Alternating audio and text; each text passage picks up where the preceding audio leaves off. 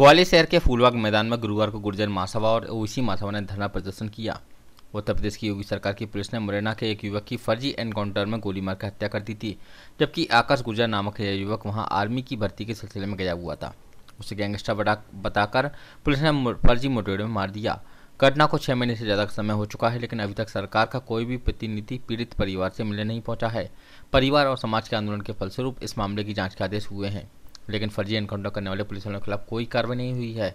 इससे पूरा समाज उद्वेलित है।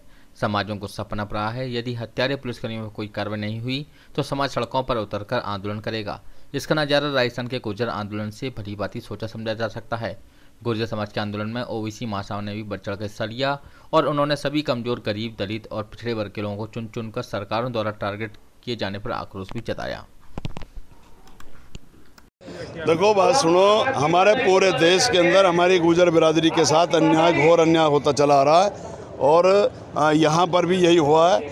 यहाँ का बेटा उसको यूपी में मार दिया गया। दो मिनट सभी ध्यान से सुनेंगे आकाश की माता जी हैं। उसको यूपी में आगरे में मार दिया गया और कोई शासन प्रशासन कहीं संज्ञान नहीं ले रहा और उसके खिलाफ हमने धरना प्रदर्शन करके आज आवाज़ बुलंद करी है कि उसका सीबीआई द्वारा जाँच कराई जाए।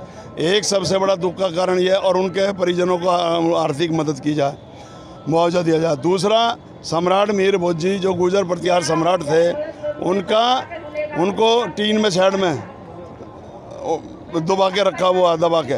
तो वो हमारे आक्रोश बढ़ता जा रहा पूरे देश के अंदर।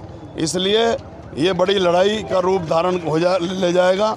ये हमारा आंदोलन। इसलिए अविलंब सम्राट मीर भोजी और जहाँ जहाँ से हमारे बिरादरी का नाम हटाया गया गुजर प्रतिहार, इतिहास में प्रतिहार तो गुजर ही तो थे।